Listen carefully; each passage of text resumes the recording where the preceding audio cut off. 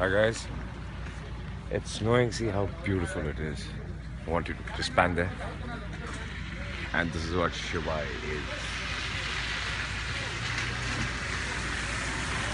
is. Okay.